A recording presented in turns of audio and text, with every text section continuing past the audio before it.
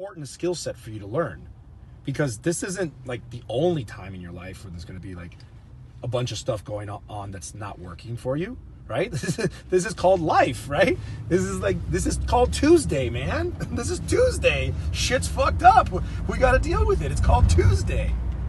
So what, what the first step is number one you have to change your physical state meaning you need to stand straight up you need to put your shoulders back, your chest up, and you need to do the Superman pose. Literally like the Superman pose. You need to change the physical state of your body. Because when people are depressed, when people are sad, when people are not feeling good, what do they do?